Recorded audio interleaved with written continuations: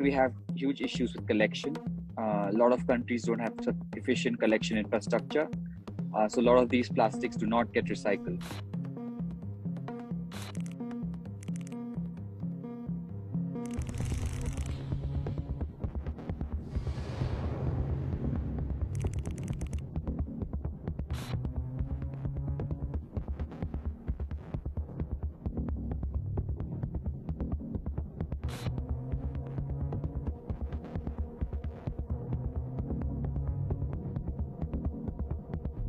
The rich countries they have the resources to collect so you don't see litter on the streets like you would see in asia but they have the resources to hide it or export it to other countries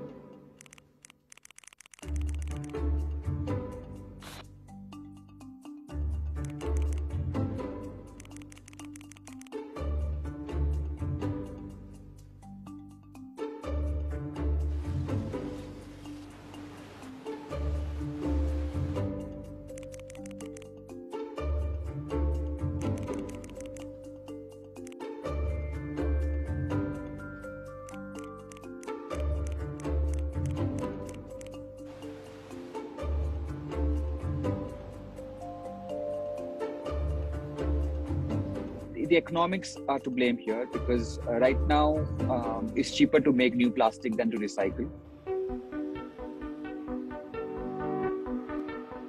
In the coming decade, plastic production is not going to go down, it is just going to increase. The US is actually on the top of the list.